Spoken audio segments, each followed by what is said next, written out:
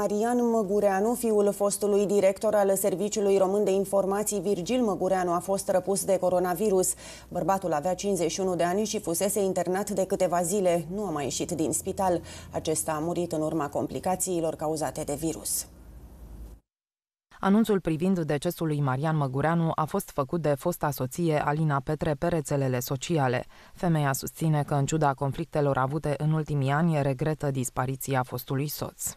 Sunt sfâșiată de durere pentru el, pentru familia lui, dar în primul rând pentru fetița mea. A plecat mult prea devreme și mult prea dureros pentru toți. Odihnească-se în pace, a scris Alina Petre pe pagina sa de Facebook. Conform unor surse citate de mass media, fiul fostului director al SRI avea mai multe probleme de sănătate. Acesta suferise de curând și un atac de cord.